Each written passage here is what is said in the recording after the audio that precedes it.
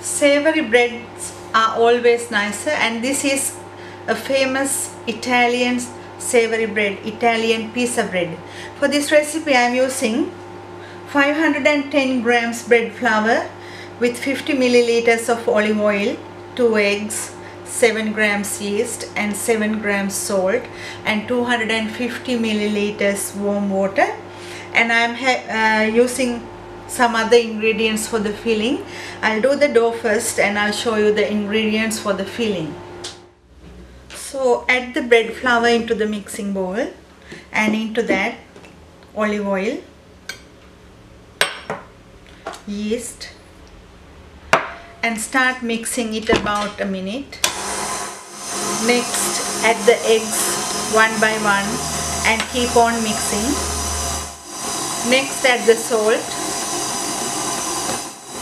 after add water little by little and keep on kneading about 20 minutes. So when you add water into a bread mix always make sure to add it uh, not at once. So if you add at once it becomes soggy because the eggs that we use maybe it will vary from um, the size of the egg. So always add water little by little. And I have about a tablespoon of water left. And the consistency has to be like this. So don't make it more wetter than this. And I'm going to knead keep on kneading.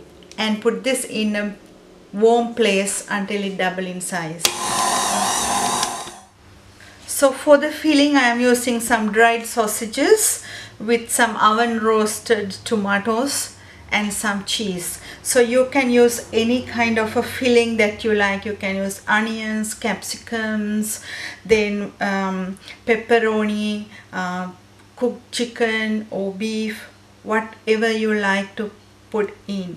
This is just an idea that I'm using sausages tomatoes cheese and if I feel like I'm going to cook the sausages with onions. So the bread dough is ready for the pizza bread put some flour onto the bench and put the dough onto the bench.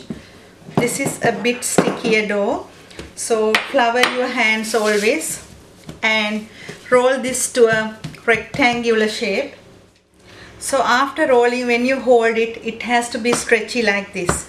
So onto the bread put the mix that you have prepared I cooked the sausages with onions and I added the baked tomatoes onto that too.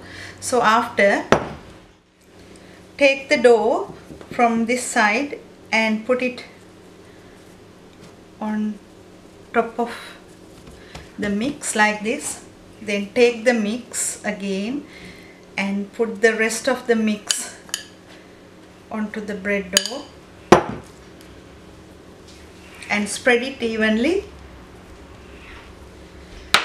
And roll this side. And then take the other end and put it on top and seal the edges. And make sure to seal the edges from both sides. And make it as a log shape. And then put this on a baking tray and leave it again in a warm place until it double in size. So the pizza bread is ready. I'm going to brush the top with eggs